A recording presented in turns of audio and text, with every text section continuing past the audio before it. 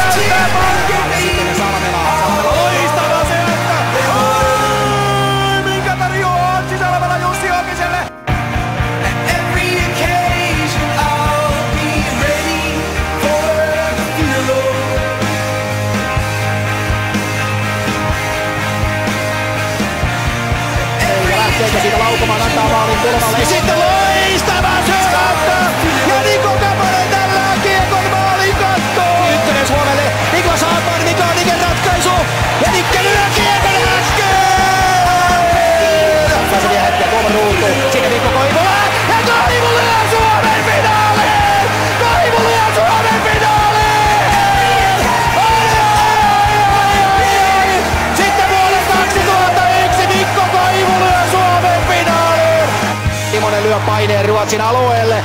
Ja viimeinen puoli minuuttia lähtee liikkeelle. Viimeinen puoli minuuttia siinä aikana se maali on pystyttävä tekemään keinolla vielä hyvänsä.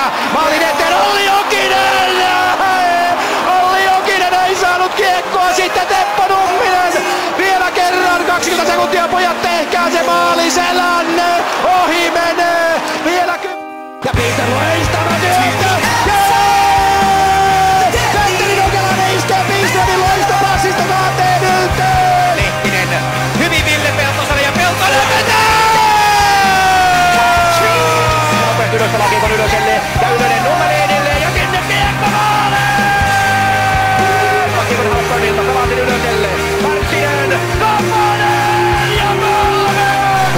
ja siellä tulee eteen